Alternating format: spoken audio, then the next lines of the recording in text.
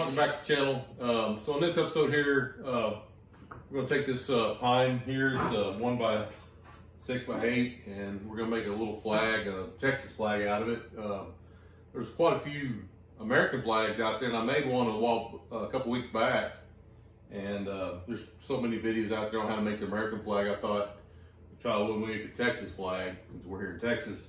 I think there's a couple videos out there online, but uh, I want to do this one pretty simple. Um, kind of make it to where you can make one yourself without having to cut a lot. Uh, I'm going to use the two, the width of the two boards here without having to rip them down.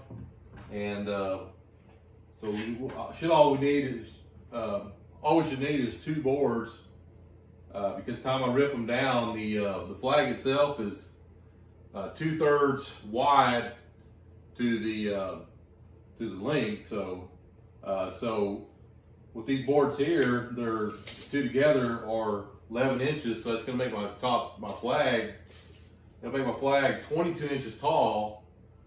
So if I do two thirds that, I need to add another 11 inches, so it'll be 33 inches long and 22 inches high. Uh, make it simple like that too. When I glue these up together here, this will be the red stripe and the other two above will be the white stripe. And then the blue portion will be one third of the, the length, so it's 33 inches long.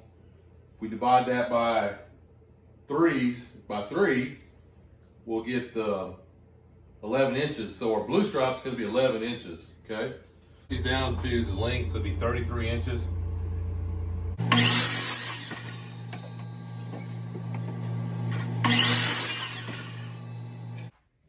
Minwax uh, has it now, tintable stains.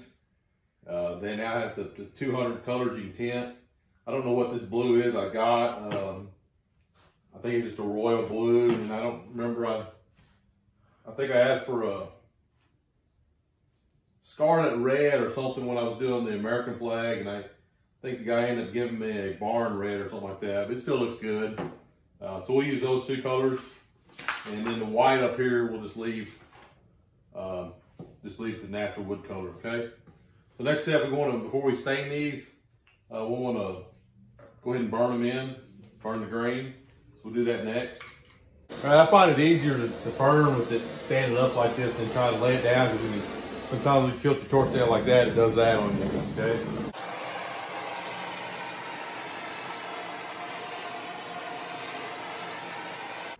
All right, so the bottom two boards, we're gonna stain the red part right now and then we'll glue it all together and then we'll do the blue. So I'm gonna tape off right here, my two lines I marked.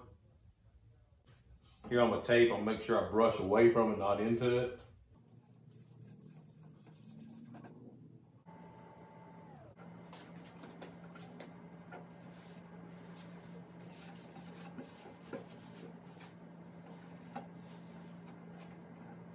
All right, we're gonna get the star taped on here and then I'm gonna take a X-Acto knife, cut it out.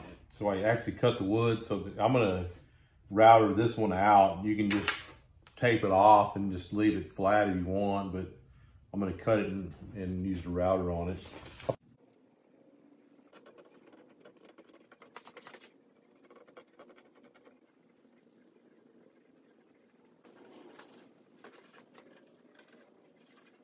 Start, uh, I've got just an eighth inch little um, router bit in here.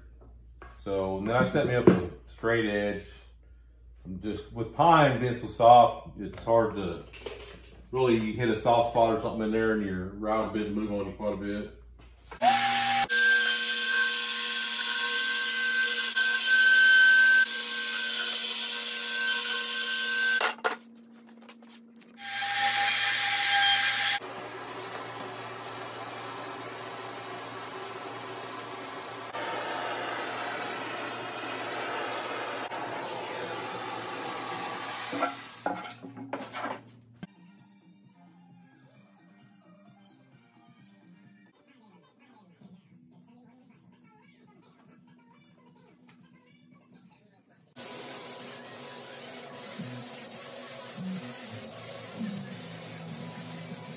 All right, guys, we got this flag all done here.